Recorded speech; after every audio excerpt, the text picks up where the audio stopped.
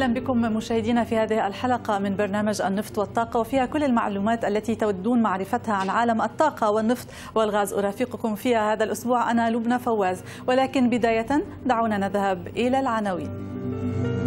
العراق يخطط لسداد متأخرات شركات النفط بنهاية هذا العام. ورويال داتش شال تعلن عن احتمال خروجها من نحو عشرة دول بموجب خطة لبيع الأصول وإلغاء 120 ألف وظيفة في بريطانيا بسبب تراجع النفط.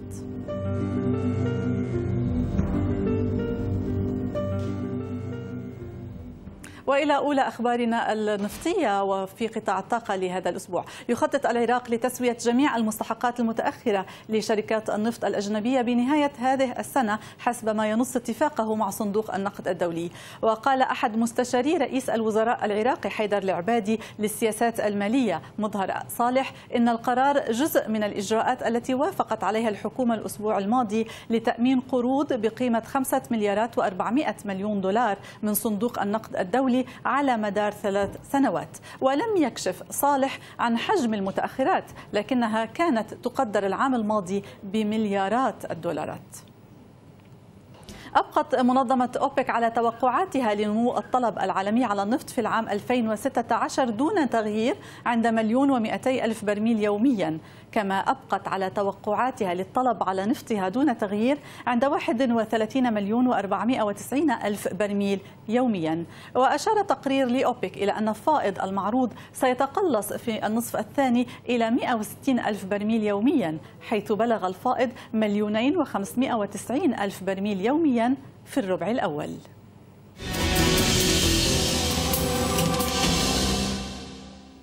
حدد المحلل النفطي محمد الشطي 15 محورا ستظل تحظى باهتمام السوق النفطية العالمية على مدار العام الحالي باعتبارها المحددة لسقف تعافي الأسعار. من أبرز هذه المحاور استمرار تأثر الإنتاج النفطي في مناطق مختلفة لأسباب فنية وجيوسياسية فضلا عن ضعف أسعار النفط الخام. لنعرف مزيد عن هذه المحاور ينضم إلينا الآن من الكويت الخبير النفطي السيد محمد الشطي. أهلا بك سيد محمد نرحب بك وطبعا بداية دعنا نسألك عن موضوع الأسباب الفنية والجيوسياسية التي ذكرتها. نحن نعرف أن المقصود طبعا التوترات الأمنية في نيجيريا أيضا التوترات في فنزويلا الحرائق في كندا وغيرها. ولكن هل كل هذه الأسباب يعني أسباب آنية غير مرتبطة بمدى زمني معروف أو محدد؟ وبالتالي هل لها هذه القدرة الكبيرة على يعني تحديد سعر النفط والتحكم بأسعار النفط على مدى طويل. بلا شك يعني نحن الآن في سوق منذ نوفمبر أو منذ النصف الثاني من 2014 هي سوق مضخمة والمخزون في أعلى مستوياته، لذلك أي نقص في المعروض يعني نقص في ال ال ال أي نقص في مناطق الإنتاج أو تأثير في مناطق الإنتاج باي لأي سبب من الأسباب يؤدي إلى نقص في المعروض وبالتالي يؤدي في النهاية إلى نقص المخزون وبالتالي يؤدي إلى التوازن. بلا بلا شك يعني ما حدث في نيجيريا من هبوط وتأثر الانتاج تقريبا في حدود ال 500 ألف برميل يوميا. هو رغم أنه سبب مؤقت لكن يبدو أنه ممتد لأشهر قادمة أمامنا. كذلك الأمر بالنسبة لفنزويلا. فنزويلا تأثر الإنتاج بما يقارب تقريبا من 200 ألف برميل يوميا وهو أيضا وهي أيضا أسباب مرشحة للزيادة. كذلك حتى في في مسألة كندا كان الاعتقاد السائد بأن المليون برميل يوميا. الذي تأثر هذا ممكن يكون فقط لتقريبا في 20 مايو. اليوم نحن في 9 أو 11 11 يونيو ما زال ال ال ال الإنتاج متأثر. طبعا في جملة هذه في في هذه الجملة يعني ذلك تأثر الإنتاج في مناطق الإنتاج وبالتالي يعني اتجاه في طريق التوازن. فبلا شك رغم أنها أسباب مؤقتة لكن يبدو أنها ممتدة في النهاية. الفائدة للسوق والذي يتابع السوق هو أن هذه الأشياء تعني تناقص المعروض في السوق وهذا ما يهتم في السوق. السوق يريد أن يرى في, في, نهاية المطاف توازن. نعم. الآن خرجت علينا دراستين توقعات إدارة معلومات الطاقة الأمريكية وتوقعات سكرتارية أوبك. الاثنين يؤكدون بأن خلال الربع الثاني من هذا العام حدث يعني نقص كبير في في في في الفائض من تقريبا مليونين برميل يوميا إلى حدود المليون نعم. برميل يوميا أو أقل حسب الدراسة. فهذا كله يعني أننا نحن في في في اتجاه التوازن وبالتالي دعم الأسعار. لذلك وجدنا يعني هذا كان سبب رئيسي في دعم مستويات الأسعار إلى أن نعم وصلنا الآن محمد إلى مستويات نعم. غير متوقعة. طالما أنك تتحدث عن موضوع العرض والطلب وطبعا آه، المخزونات الأمريكية وغيرها هنالك أيضا كان تنامي في المعروض في المنطقة يعني خاصة بعد رفع العقوبات عن إيران. والحديث عن إنتاج آه، إيران النفطي المتزايد. هذا أيضا أيضا أرخى بظلاله على الأسواق إضافة إلى تصريحات مثلا من العراق بأن العراق أيضا يريد رفع من حصصه الإنتاجية وبالتالي هذا أيضا يشكل ضغط على الأسواق. رغم ذلك لم نرى بأن الأسعار تفاعلت آه، مع هذا الأمر. يعني هناك أيضا أمرين يتابعهم السوق، اولا إجمالي إنتاج الأوبك الفعلي آه، مقابل الطلب على نفط الأوبك، في خلال الربع الثاني من هذا العام كان الطلب على نفط الأوبك حسب آه، تقديرات سكرتاريه أوبك 31.2 مليون برميل يوميا، بينما كان الإنتاج الفعلي من إجمالي إنتاج أوبك كان تقريبا في حدود 32 مليون برميل يوميا آه، فاصلة أربعة. فبالتالي لذلك كان الفائض نقص كثير. هذا من ناحية. من ناحية أخرى أيضا الإنتاج الفعلي للدول.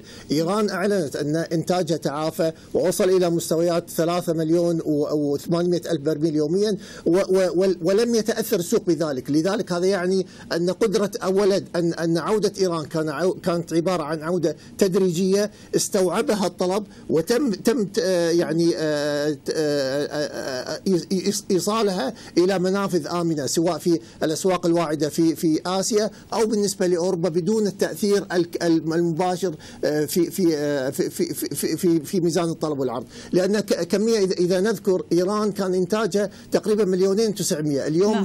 ثلاث ملايين و800 لكن رغم هذا الكم الهائل في سوق مضخمه لم يؤثر لأنه عاد تدريجي وتم استيعابه من من السوق خصوصا إذا رأينا بالنسبة لتعافي الطلب تعافي الطلب بالنسبة للهند مشهود لها بالتعافي الآن تقريبا نسبة الزيادة 250 ألف صحيح. مقابل زيادة زيادة سابقة كانت في حدود ال نعم. ألف. بالنسبة للصين أيضا آه، آه، آه، واردات الصين من من من النفط الخام ارتفعت بشكل كبير ووصلت إلى تقريبا 7 مليون 600 ألف برميل يوميا بينما في السابق كانت في حدود 6 ملايين. فهذه زيادة يعني هي التي تدعم استيعاب أي زيادة طيب سيد محمد أيضا تحدثت مع عن موضوع هيكلة أسعار النفط. ما المقصود تحديدا بهذا الموضوع الذي يعني شددت على أهميته؟ ما المقصود تحديدا بهيكلة أسعار النفط بين الحاضر والمستقبل.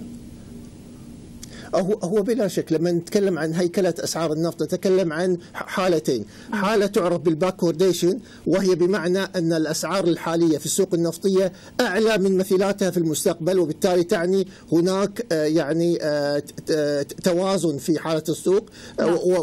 وبالتالي هذا يشجع سحب من المخزون، هناك حالة أخرى تعرف بال contango، وال contango بمعنى أن الأسعار الحالية آه، أقل من الأسعار المستقبلية لذلك يشجع يشجع الأمر على آه، بناء المخزون. شكرا لك ضيفنا من الكويت السيد محمد الشطي الخبير النفطي شكرا جزيلا لك. توقعت دراسة جديدة أعدتها شركة ميكنزي الاستشارية أن يبلغ الطلب العالمي على النفط ذروته بحلول نهاية العقد المقبل وذلك على الرغم من ارتفاع معدلات نمو الاقتصاد العالمي تتجه الأنظار صوب الطاقة البديلة التي تستخدم بدلا من مصادر الطاقة الأحفورية أو تنتج وقودا شبيها بالوقود الناتج عن الطاقة الأحفورية والاعتماد على مصادر الطاقة المتجددة بأنواعها المختلفة. سيعمل على تراجع الطلب العالمي على النفط خلال العقدين القادمين طبقا لدراسة لشركة ماكنزي الاستشارية التي توقعت أن يبلغ الطلب العالمي على النفط ذروته بحلول نهاية العقد المقبل رغم ارتفاع معدلات نمو الاقتصاد العالمي. وخفضت ميكنزي توقعاتها السابقة لنمو الطلب العالمي على النفط إلى حد يمكن أن يجعل الاستثمارات الجديدة الكبيرة في صناعة النفط استثمارات غير مجدية اقتصاديا إذا لم ينتعش الطلب على مستوى التوقعات. وقالت إنها خفضت توقعاتها لنمو الطلب على النفط إلى 18% سنويا حتى 2040 وهو معدل يقل كثيرا عن التوقعات العامة. بما في ذلك تقديرات ماكنزي نفسها العام الماضي التي توقعت فيها أن ينمو الطلب بنسبة تفوق الواحد في المئة. ومن المتوقع أن ينمو الطلب على النفط بمعدلات أبطأ بعد عام 2025 وقد لا تعود الاستثمارات الكبيرة في قطاع الطاقة لازمة ويمكن أن يواجه بعضها خطر الوقوع في مأزق بحسب الدراسة. وأشار خبراء في ميكنزي إلى أنه رغم الزيادة في عدد سكان العالم بنحو 36% وتضاعف إجمالي الناتج المحلي الإجمالي مرتين فإن تغير القوى المحركة لقطاع الطاقة سيؤدي إلى هبوط الطلب على الطاقة. وسيكون هذا التغير مدفوعا بثلاثة عوامل. الأول أن نمو إجمالي الناتج المحلي العالمي يكون أقل بنيويا مع تزايد شيخوخة السكان. والثاني أن الاقتصاد العالمي يبتعد عن الصناعة التي تتسم بكثافة الطاقة نحو الخدمات. والثالث أن كفاءة استخدام الطاقة تستمر في الارتفاع بدرجة عالية. وتتوقع دراسة ماكنزي أن يتوفر نحو 80% من الطاقة المطلوبة لتلبية هذه الحاجة من الطاقة الشمسية وطاقة الريح. أعلنت شركة رويال داتش شل العملاقة للطاقة عن احتمال خروجها من نحو عشرة دول بموجب خطة أعلنتها سابقا لبيع أصول للنفط والغاز على مدى عامين وفي أعقاب استحواذها مؤخرا على مجموعة بريتش غاز جروب. من المتوقع أن تسعى الشركة كذلك إلى توفيرات أكبر من المعلن عنها سابقا.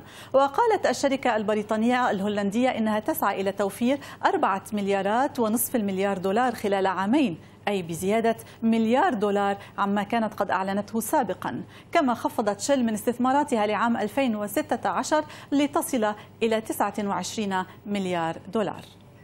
أعلنت شركة النفط الروسية روزنفت أن انخفاض أسعار النفط في الربع الأول من العام الحالي يؤثر بشكل كبير في أرباحها التي تراجعت بنسبة 80% وسجلت الشركة أرباحا صافية بلغت 200 مليون دولار في الربع الأول بعد أرباح بلغت مليار دولار خلال الفترة نفسها من العام الماضي. وشهدت إجمالي إيرادات روزنفت انخفاضا بنسبة 32.6% إلى 14 مليار ونصف المليار دولار أمريكي. وقالت الشركة إن مداخيلها قبل خصم تكاليف التمويل والضرائب والاستهلاكات والاقتطاعات تراجعت أيضا بنسبة 26% إلى 3 مليارات و700 مليون دولار. النفط والطاقة مستمر معكم وفيه بعد الفاصل غاز بروم تهاجم أوبك وتتهمها بزعزعة استقرار سوق النفط في العالم.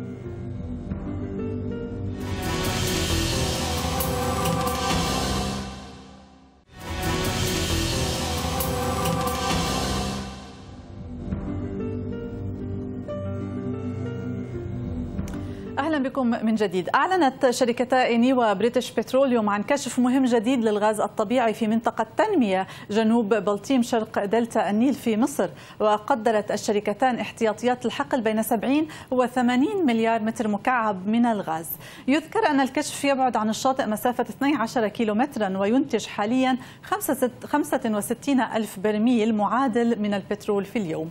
وكانت الحكومة المصرية قد أعلنت في أغسطس الماضي عن تحقيق أكبر كشف للغاز الطبيعي في مصر ويسمى شروق في المياه العميقة بالبحر المتوسط بمساعدة شركة إني الإيطالية وهو ما اعتبره خبراء أكبر اكتشاف نفطي في التاريخ. للتعليق على هذا الموضوع ينضم إلينا عبر الهاتف من القاهرة الدكتور جمال القليوبي رئيس مركز المستقبل للدراسات الاقتصادية والسياسية وأستاذ هندسة البترول والطاقة. أهلا بك دكتور جمال. دعنا لو سمحت في البداية أن نسألك عن أهمية هذا الكشف بالنسبة لقطاع الطاقة والغاز في مصر تحديدا. أه، دعيني أطرح ليكي أن بداية سلسلة هذه الاكتشافات كما شرحتي أه، بداية من أغسطس بحقل ظهر في منطقة شروق امتياز شروق. ثم يتبعها اكتشافين في آه، نفس السنة. الاكتشاف الأول كان لمنطقة نورس في بداية 2015 آه، آه، ثم هذا التطوير الكبير لهذه المنطقة العملاقة والتي وصلت إنتاجيتها مع الاكتشاف الثالث لمنطقة ندوكو أو شمال ندوكو هذه الثلاث اكتشافات تصل إلى حيز ال 350 مليون قدم مكعب وهي تنتج بالفعل لأن لدى الدولة المصرية بنية تحتية متاحة لدى هذه المنطقة وهي منطقة عبر المنطقة الأرضية التضاريسيه أمام شواطئ البحر المتوسط، أما الاكتشاف الأول واللي يعتبر كما أشرت من اكبر الاكتشافات في منطقة نعم. البحر المتوسط والحوض الترسيبي البحر المتوسط وحقل زهر هناك التزام ما بين الشركة الإيطالية والحكومة المصرية في انه كما أعلن وكما تم تصريح عنه من خلال قبل الحكومة المصرية أنه سوف يتم الإنتاج من حقل زهر في الربع الرابع من 2017 بحيز مبدئي من الإنتاج يصل إلى حوالي 1.8 مليار قدم مكعب غاز يومي ثم يمتد هذا التطوير في الربع الثالث من 2018 والربع الرابع من 2019 لكي يصل حجم الإنتاج من هذا الحقل بداية لحوالي 2 مليار ثم في نهاية 2019 يصل إلى 2.5 مليار قدم مكعب غاز يومي. هذا ما سوف تم هذا ما سوف تم التعاقد عليه ما بين التزام الشركة الإيطالية والحكومة المصرية. أما ما هو حديث ويمكن تم الافصاح عنه و إعلان ونشره في 9 من هذا الشهر وهو الحقل لمنطقة شمال غرب بلطيم وهذه منطقة تقع أمام الشواطئ المصرية تبعد عن الحقل الكبير لنورس حوالي 10 كيلومترات في اتجاه الشمال الشرقي. نعم ونحن نشكرك على كل هذه المعلومات الدكتور جمال القليوبي رئيس مركز المستقبل للدراسات الاقتصادية والسياسية وأستاذ هندسة البترول والطاقة. كنت معنا عبر الهاتف من القاهرة. شكرا لك. قالت وكالة الطاقة الدولية أن نمو الطلب على الغاز الطبيعي سيتباطأ إلى متوسط 1.5% سنويا حتى العام 2021 إذ سيؤدي الركود في أوروبا والشكوك بشأن الاستهلاك الصيني إلى تحييد التأثير الإيجابي للنمو القوي في الهند. وأشارت الوكالة إلى أن الهند ستقود نمو الطلب على الغاز بمتوسط 6% سنويا في حين سينتعش الطلب الصيني على الأرجح بفضل التحول من الفحم إلى الغاز في محطات توليد الطاقة. الآن ينضم إلينا من لندن الدكتور مصطفى البازركان المستشار في أسواق المال والطاقة لتفاصيل أكثر عن هذا الموضوع. أهلا بك دكتور مصطفى. أسعار الغاز على مدى يعني السنتين الماضيتين كانت تشهد الكثير من الضغوط شهدنا يعني تراجعات كبيرة في أسعار الغاز ربما بنحو 80% واليوم وكالة الطاقة تتحدث عن زيادة في المعروض لماذا هذه الضغوط؟ ما سبب تراجع الأسعار وهذه الوفرة في المعروضات؟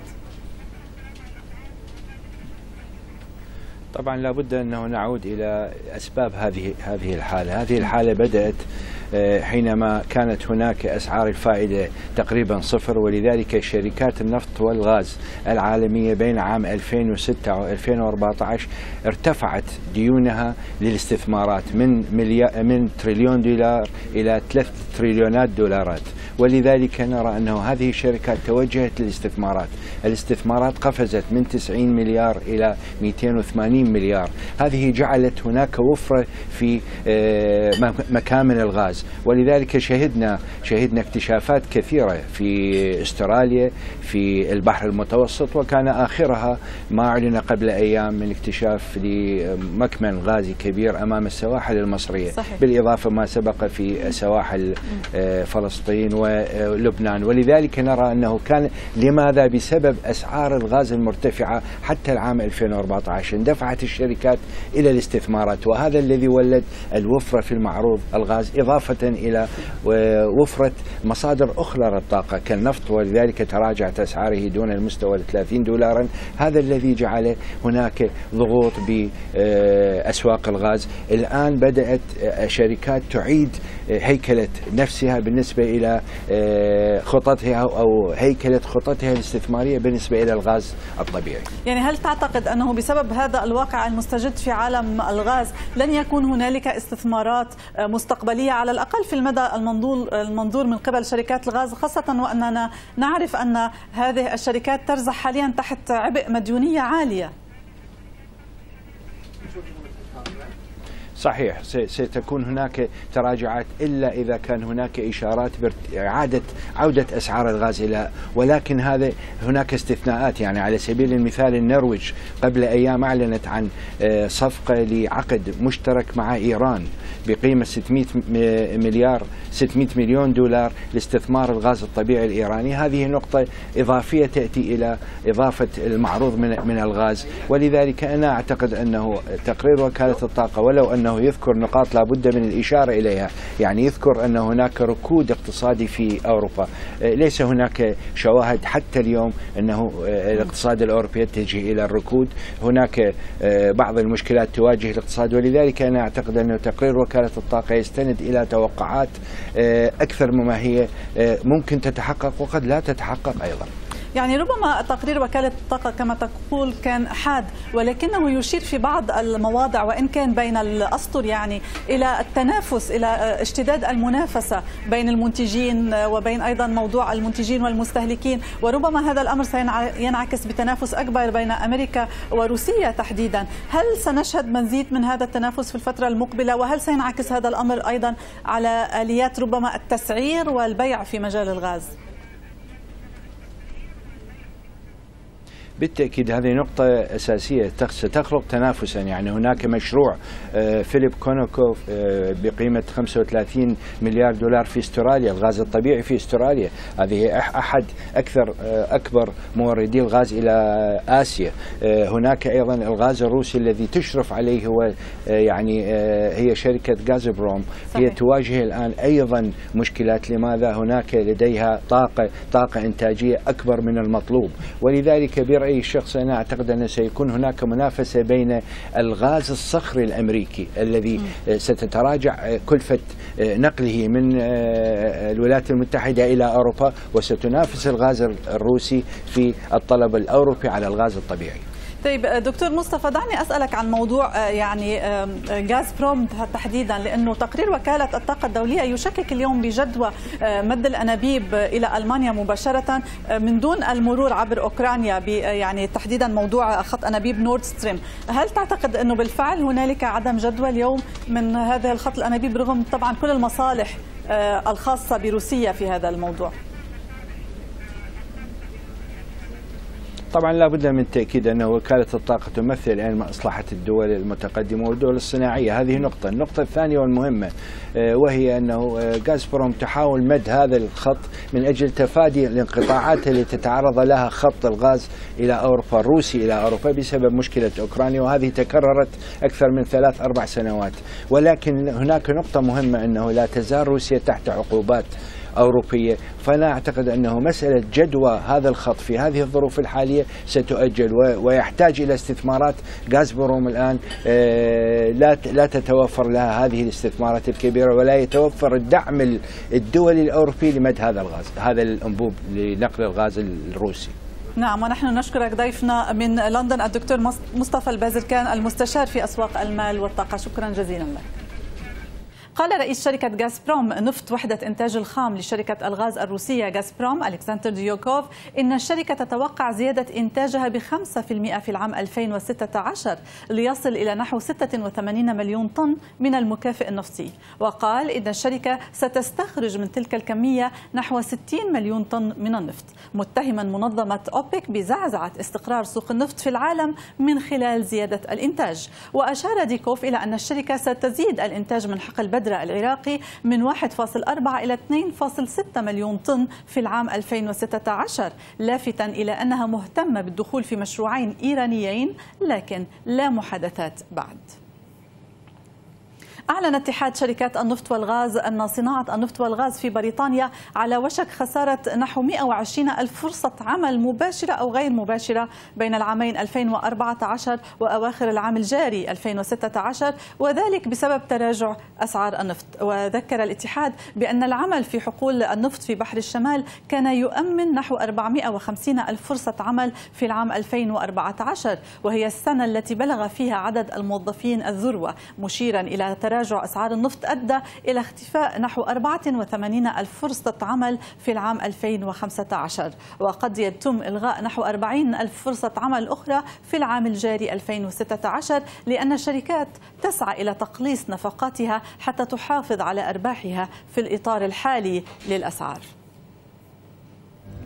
نصل الآن مشاهدينا إلى نهاية حلقة هذا الأسبوع من النفط والطاقة. شكرا لكم لمتابعتنا وطبعا ندعوكم لمتابعة المزيد من الأخبار والتفاصيل الاقتصادية ومنها الأخبار النفطية على موقع CNBC عربية www.cnbcarabia.com وطبعا وصفحاتنا المختلفة على مواقع التواصل الاجتماعي على فيسبوك تويتر وطبعا صفحة CNBC عربية على اليوتيوب. شكرا لكم وإلى اللقاء.